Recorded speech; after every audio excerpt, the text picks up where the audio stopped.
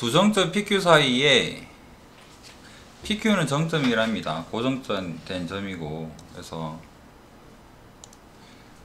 얘는 변화가 없이 그냥 3이라는 거리를 가지고 있는데 바- Q가 그냥 땅이라 생각합시다.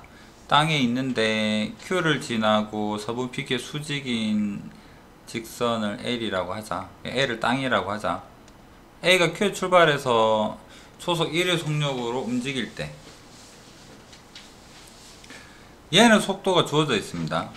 V가 1로 A가 움직인다. 움직일 때 직선 L 위의 점 B는 거리 합이 일정하답니다. 얘가 멀리 가면 좀 짧아지겠죠. 그런 의미로 B가 이렇게 딸려올 거라는 소리예요. 그럴 때 AQ가 4가 되는 순간 속도가 1이니까 이 4가 된다라는 말은 T가 4라는 이야기겠죠. T가 길이가 4가 된다라는 말은 T가 4가 되는 순간에 BQ의 길이의 변화율에 대해서 물어보고 있죠. 이런 의미입니다. 그렇다면 얘를 일반형으로 좀 바꿔봐야 되니까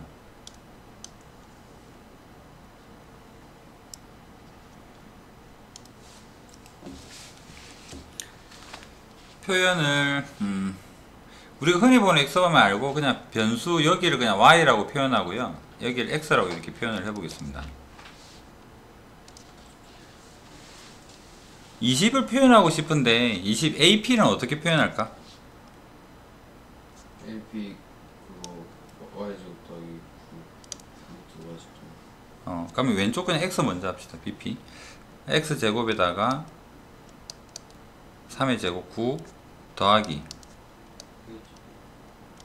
y 제곱에 더하기 9. 얘가 20이다.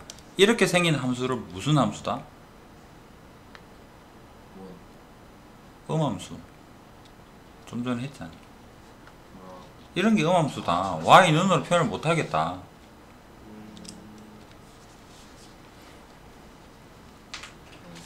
그런데 우리가 x라고 했지만 이 실제로 x가 뭐냐 그러면 t의 함수예요. 이해하기 쉽게 이 부분을 다시 한번 적어볼까요? x가 길이인데 x는 t의 함수, 시간에 따른 함수, 시간이 지나면 이 xt랑 yt는 변할 거 아니야. 근데 우리가 지금 이게 어떤 관계인지를 잘 모르고 있는 건데 얘는 알겠죠. 얘는 yt는 t라는 걸 알고 있잖아. 속도가 1이니까. 예. 맞죠. 근데 얘는 잘 모르겠잖아. 그럼 우리의 질문은 dt분의 dx가 답이겠죠. X의 변화량, 아, 변화율을 물어봤으니까. 그렇다면 음함수 미분 이거 어떻게 해야 될까? 그럼 미분해야죠. 통째로. 통째로 넘기고 자시고 하는 게 아니라 우리 단원이 음함수 미분법이잖아. 그럼 미분하게 되면 루트 x 미분하면 뭐 됩니까? 2루트 x분의 1이죠. X 대신에 식이 들어가게 되면 분자에 그 프라임이 달려주면 되겠네. 맞습니까? 그럼 이제 얘를 미분해 봅시다. 2의 루트 그대로 xt에 더하기 9 맞나요? 그 다음에 아 제곱이죠. 그 제곱을 다 안 적었네. 제곱. 그 다음에 여기 분자에다 뭐 적자? 프라임 적어야 되겠죠. 2에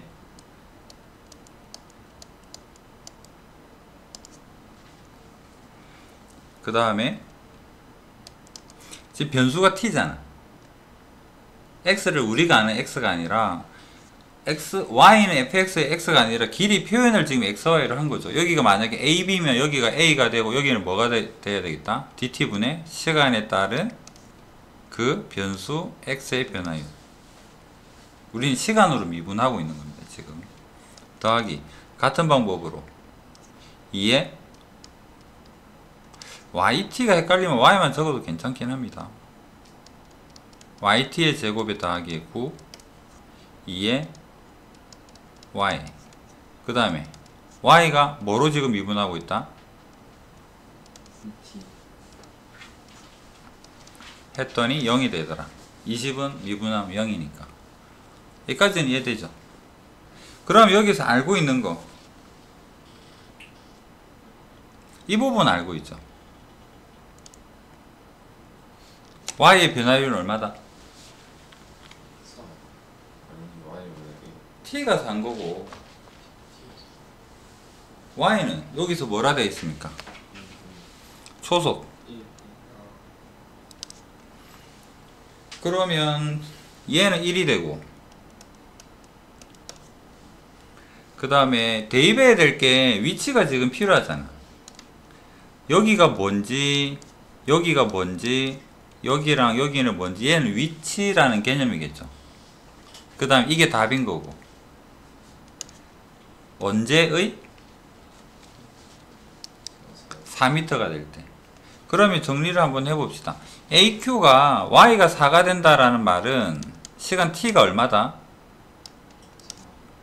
T가 4가 된다. 그럼 T가 4가 될 때 YN 알겠고 3가 알겠고 그러면 X는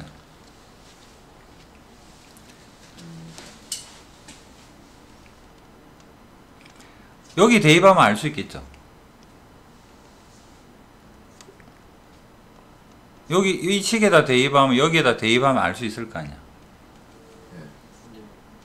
대입하면 x의 4를 알 x의 x의 4가 대입된 그 위치를 알 수가 있겠죠. 이까지는 이해되겠습니까? Y 4는 뭐예요?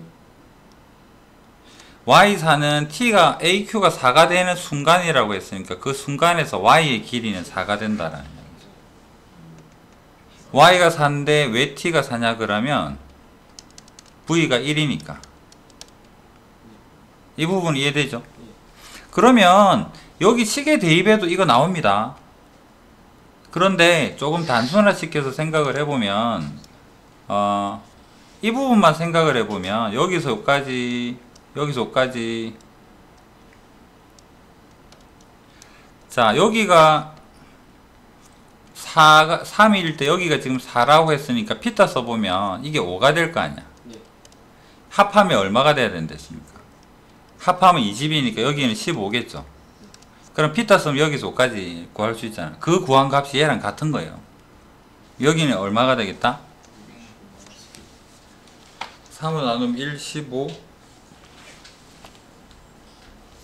루트 24, 2루트 6 세배하면 6루트 6 그럼 여기는 6루트 6이다. 6루트 6이 뭐다? 이 값이라는 거잖아. 그러면 x에 대입해야 될거 알았고 여기 대입할 거 다 아니까 이제 그대로 대입을 한번 해보자고.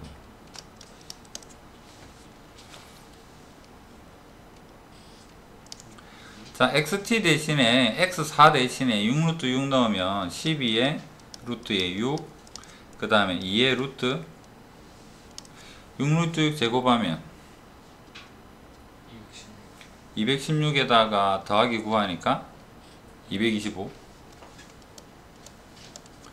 그 다음에 얘가 dt분의 dx가 궁금하고 답이고요. 더하기 2의 루트 자 y 대신에 4였죠. 4의 제곱 16 더하기 9 25. 그 다음에 2 곱하기 얘는 위치는 4가 되고 곱하기 1 얘가 0이다. 자, 2약분하고 얘가 5가 되니까 5분의 4죠. 그러면 일단 넘기고 한번 생각을 해봅시다. 그럼 앞에는 여기 15랑 15랑 어, 이거 약분하면 6 되고요. 15에서 6이랑 약분하면 3 약분하면 5가 되고 2가 되고 그러면 5분의 2 루트 6 dt의 dx는 dx 얘는 넘깁시다. 5분의 4 그러면 약분하고 약분하고 남은 거는 넘기면 dt분의 dx는 마이너스의 루트 6분의 2가 남나요? 유래를 하면 N 3분의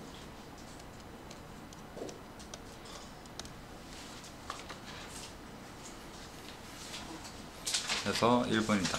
음수는 어떤 의미를 가질까? 길이가 줄어들고 있다. 아좀 길이를 이야기하고 있으니까. 이게 음함수 미분법에 대한 걸 잘 표현하고 있잖아. 어떻게든 관계식을 한번 표현을 해봐라.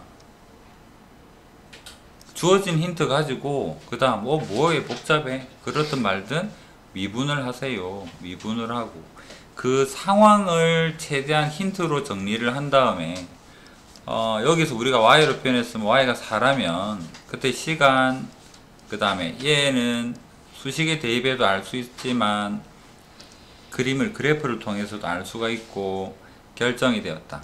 그렇다면 대입할 수 있는 부분을 확인을 하고 우리의 답을 정리를 해서 찾아가자. 크게 뭐 어려워하면 안 됩니다